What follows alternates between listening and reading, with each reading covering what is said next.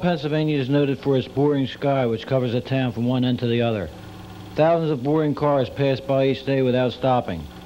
In 1870, a boy by the name of Buddy Broomall stood at this very spot and said, This is Broomall.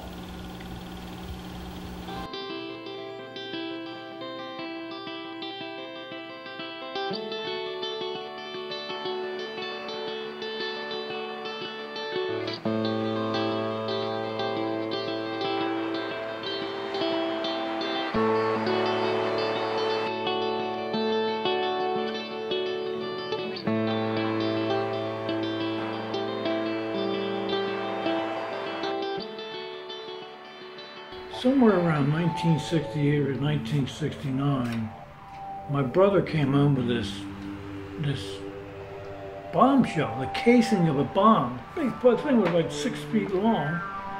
And I said, "Oh Christ, I got to do something with that." So uh, I got the idea of chasing this maid with this big dom. I called it King Dong. So I, I painted the thing pink. I painted this bombshell pink, but it was so heavy I had to uh, I had to put a rope around it to hold it as I'm going after the maid. And then in, in the uh, film, in King Dong, I, I actually rest the dong on a trash can and wipe my brow because uh, the fucking thing is so heavy. But that was the origin of King Dong.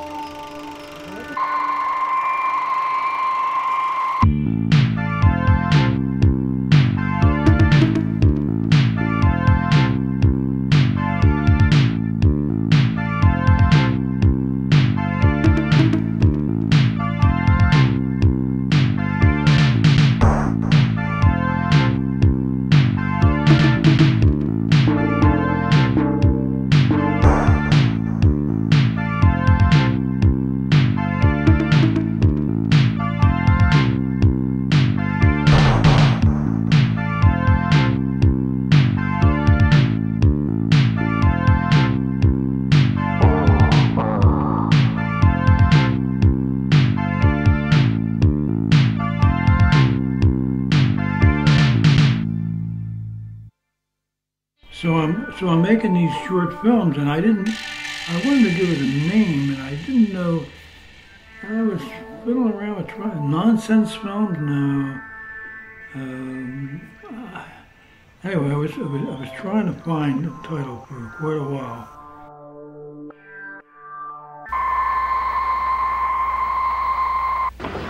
Hey, remember that bowling ball I borrowed? My kid put it in a microwave. I hadn't heard the word moron in decades. I, there used to be a, like a series of jokes. What did the moron say? Uh, something about moron jokes. And I hadn't heard the word moron for years and years and years. I was on a golf course, and we were on the first tee waiting to uh, to tee off, and the starter let somebody butt in front of us. So I didn't say anything, but the guy, one of my partners, blew up. He says, how the fuck could you let those people go in front of us, you fucking moron? And when I heard the word moron, I, said, I, I said Jesus Christ, that's it. Moron movies. I like the alliteration, of M-O, M-O for moron, M-O for movie. Alliteration of two letters, not just the one. And that's how Moron Movies, the title was born. Um, we read an article about a man in Philadelphia who makes his own movies. And apparently he would make these 8 millimeter home movies and have them transferred to tape. Then I understand he hired a theater or started to show them in a theater in Philadelphia. Uh, these are not normal movies, you understand. Uh, they're short, kind of off-the-wall things, and this man appears, although he's not an actor. He's just a fellow who does this as a hobby. And so we sent away for a few of these, and six of what we're going to show you tonight. But to get you in the right frame of mind for these movies, let me read you a few of the titles of movies we did not select. One was called The Advantage, uh, advantage of Having Warts. Another use for tough meat. And why Jello isn't a good doorstop. Uh, the fellow's name is Len Cella, C-E-L-L-A, and it became kind of a cult thing in Philadelphia. People would start going down to watch these little, as he called them, moron movies. So keep that in mind as you watch it. And here are a few little bits of moron movies from Len Cella.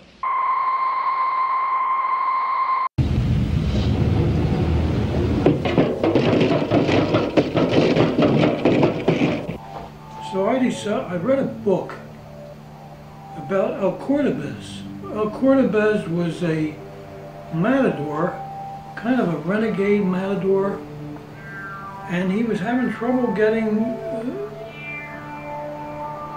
to go in the ring. They wouldn't let him in the ring to do his thing. So he built his own bull ring. I says, that's it. I'll get my own theater. 'Em. So I started shopping around for uh, for places to rent, and I there was a second floor of a Lansdowne Theater.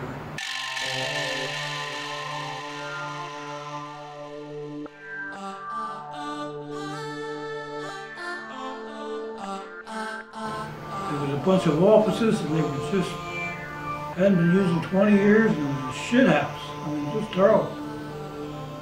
And I worked for a year uh, renovating that place.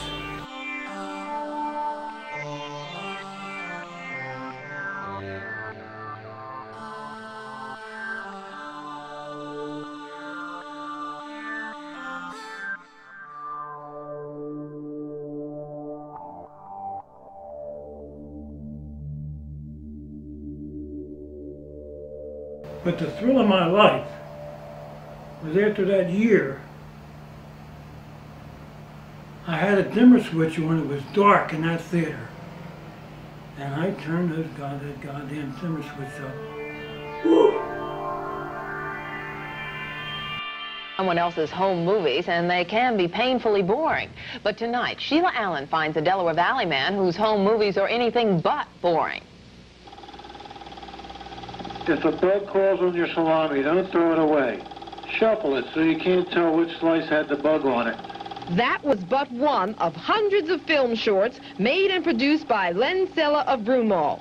Films he calls moron movies, although I can't imagine why. You're drunk if you throw out the dog and you take the trash for a walk. Len says he started making comedy home movies about any and everything back in 1967. And over the years, they got so many laughs from his friends, last October, he started showing them publicly in a room above the Lansdowne Theater on Friday and Saturday night. in, in the movie business, but in just about every aspect of it. I've acted and directed and shot the film. And I clean up between shows. And you've been showing those home movies to your family. Sheila Allen, Channel 10 News. Wow, he's good. Yeah, he is good.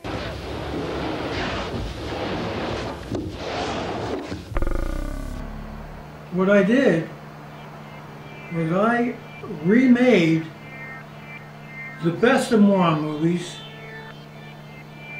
plus some more new shorts, and I made it into one video called Crap for people with piss poor upbringing.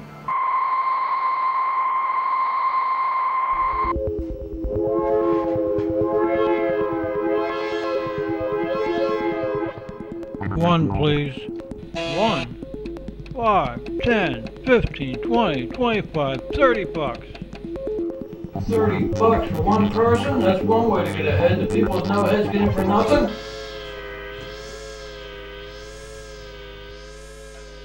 Hey, Siamese. You make a great hat rack. the 80 minute version of crap, I'm trying to get into the movie theaters.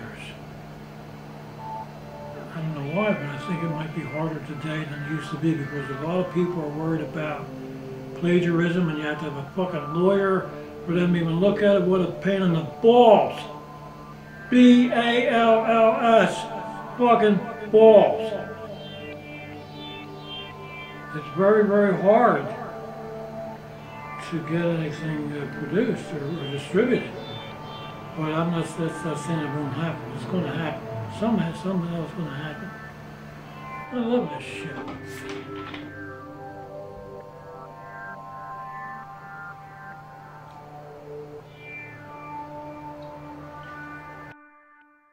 Well, every yeah, everything in my apartment was done by me. Uh, I just feel more comfortable, uh, you know, making things. I, I mean, I to me, uh, any work of art has to be pure. You have to do everything, everything, and my surroundings are like my apartment is kind of, you know, you're stretching to say it's a work of art, but I, you know, I feel comfortable in things that I created. So every, almost everything in, in my surroundings were done by me.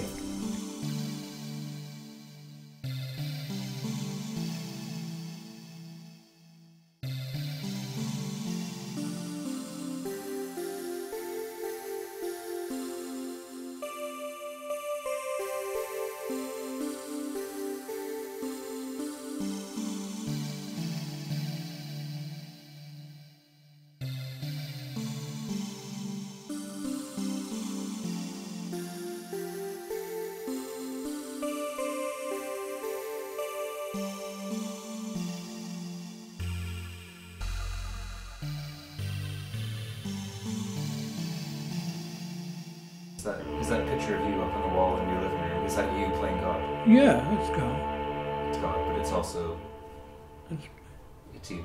oh yeah, that's me. Ironically, that picture is the best picture of me, and I'm an atheist. I'm an atheist, and this picture, I, I, I think I look best as God. What do you think of that shit?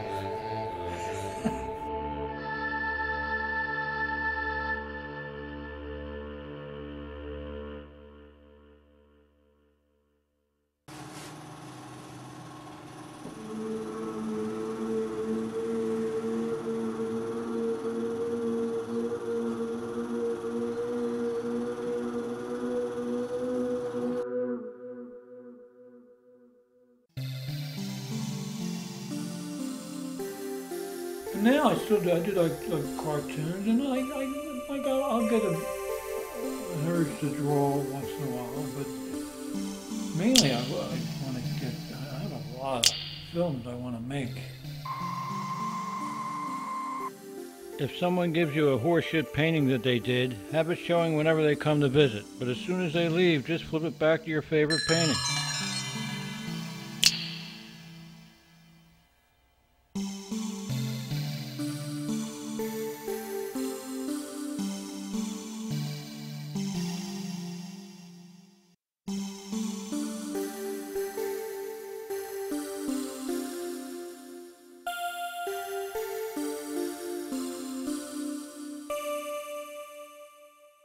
While I was painting, I would do my creative work, and I would just paint for like a couple months out of the year, and then I would go to Europe or the Riviera somewhere and write. Well, at the time I was writing.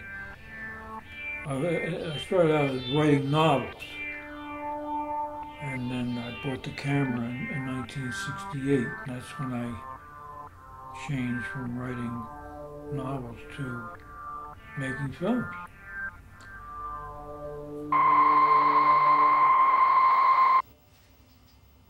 January 12, 1944. My lousy artwork is hanging all over the place. The house looks like shit.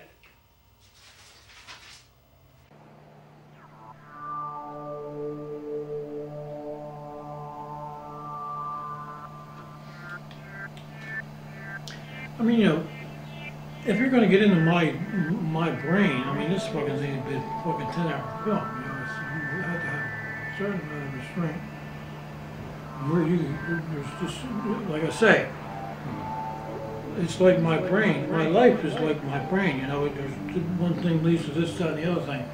And it's okay.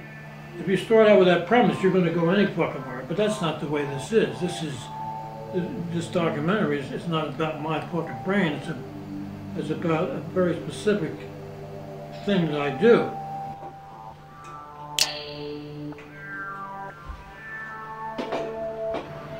As you see me put the mask on,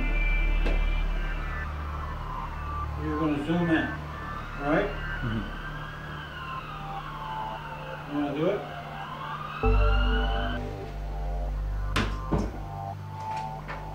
And then I get a prop.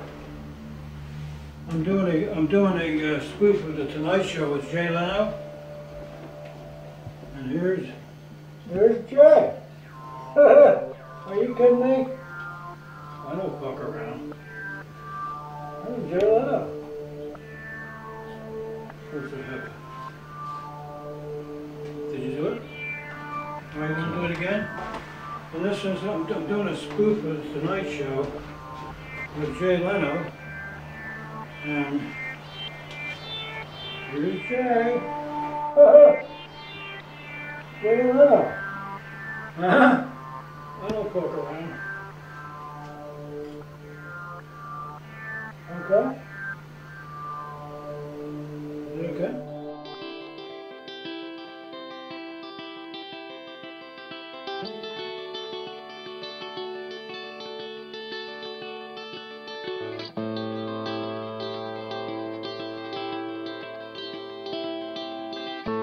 The older you get, the more, provided your, your arteries are clear to your brain, and mine, according to the doctors, are like a baby's. And don't think for one moment that I don't sense jealousy. Like a fucking baby's. So that means the brain is clear. As long as that brain is clear, you're going to get knowledge, more experiences, and they're going to be just, your blood is going to be burgeoning with all kinds of things. And the more that's in there, the more connections you can make. The more. So what happens is, just one word. Oh, I remind you of this or that or that. And you just before you know it, you're open five or ten different things. But on the way, there can be some really neat stuff. Some really neat stuff. It's fantastic. I'm telling you, aging to me is great because the older you get, the more you know, the more you have to work with. Provided, like I say, you're not deteriorating, you- you're keeping the blood flow, everything's working right. And mine isn't. Far. Then why don't you crawl, sissy? I have been, you fucking foul ball.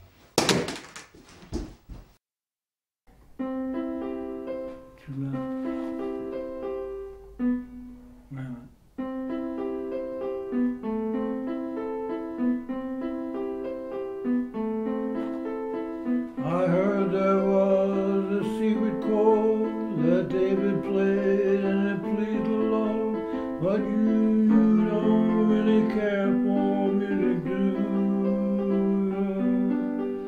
Goes like this, the fourth, the fifth, the minor fall, the major lift, the backward king composing,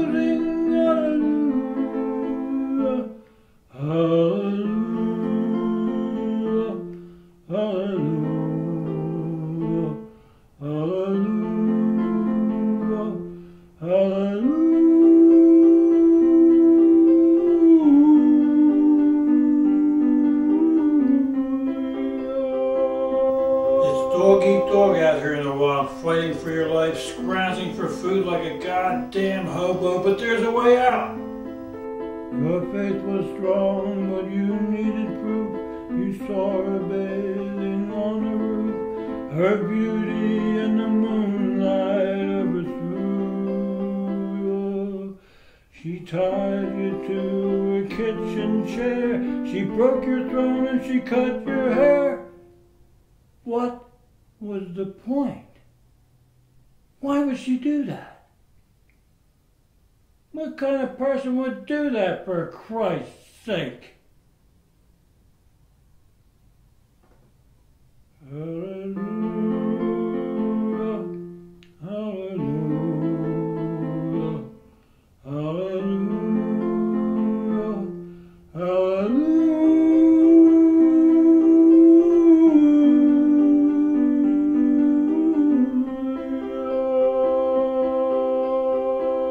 Now, these are kind of off-the-wall, miniature, I guess, motion pictures made by a fellow in Philadelphia by the name of Len Cella. Baby, I've been here before. I've seen this room and I walked the floor. I used to live alone before I knew you. I've seen your flag on the marble arch. Love is not a victory march. It's a cold and it's a broken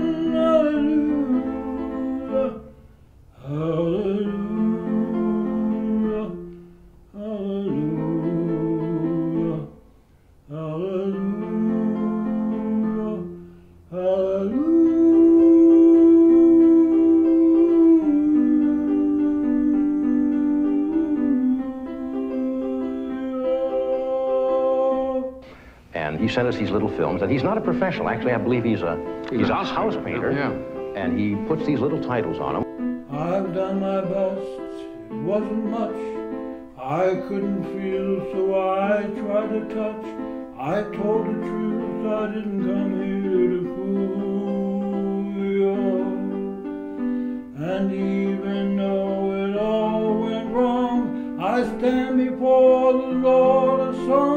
with nothing on my tongue but hallelujah. Hallelujah.